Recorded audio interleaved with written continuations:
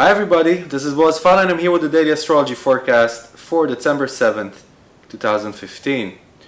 And if you are in Europe, then most of the day is a black moon. The moon is moving into Scorpio and conjuncting Venus today, sometime in the afternoon. If you are in the States, then it would be something like 8 a.m. Uh, Eastern Standard Time when we get a new moon in Scorpio conjunct Venus. And what does this conjunction in Scorpio mean? It means that we're going to be more demanding from our relationships.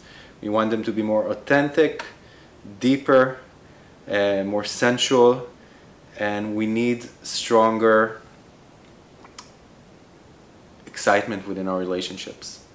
So basically today, if by any chance you have a holiday, would be a great day to take your loved one and to go eat and drink and enjoy your intimacy together.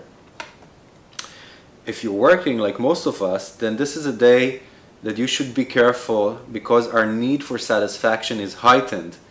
Not to let that need go under your radar and run you instead of you run it.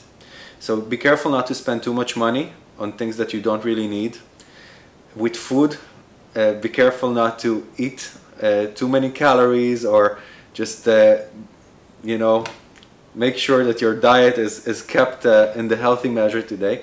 But yes this is a night and an evening that you could let loose in and really enjoy anything that's artistic anything that's uh, um, talking about love relationship aesthetics beauty or art.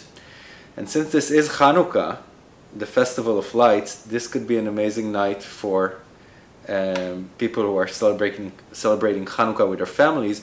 But even if you don't, this could be a wonderful night to eat a candlelight dinner and celebrate love and life with the person that you feel close to. So thank you for listening, and I'll see you all tomorrow. Take care. Bye bye.